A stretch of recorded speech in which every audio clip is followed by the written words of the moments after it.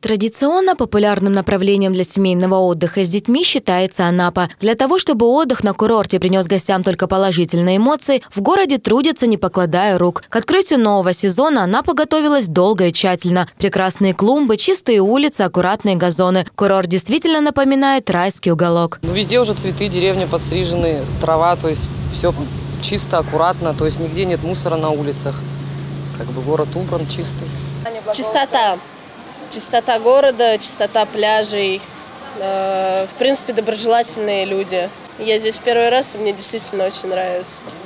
теплом, климатом своим. воздухом из Сибири, поэтому для нас вот просто все удивительно. Вот, Отдыхаем. Первостепенно для себя задачей власти Анапы считают обеспечение безопасности как гостей, так и жителей города. Для этого предпринимаются всевозможные меры. В многочисленных санаториях, пансионатах и на базах отдыха завершается подготовка к приему отдыхающих. Продолжают улучшаться курортная инфраструктура, реконструируются и открываются новые объекты индустрии развлечений.